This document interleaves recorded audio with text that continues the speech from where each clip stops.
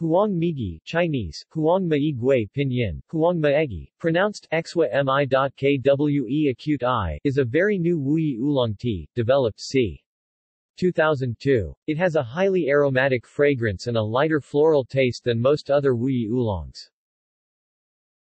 The color of the steep leaves is a very light green, much greener than other Wuyi teas. References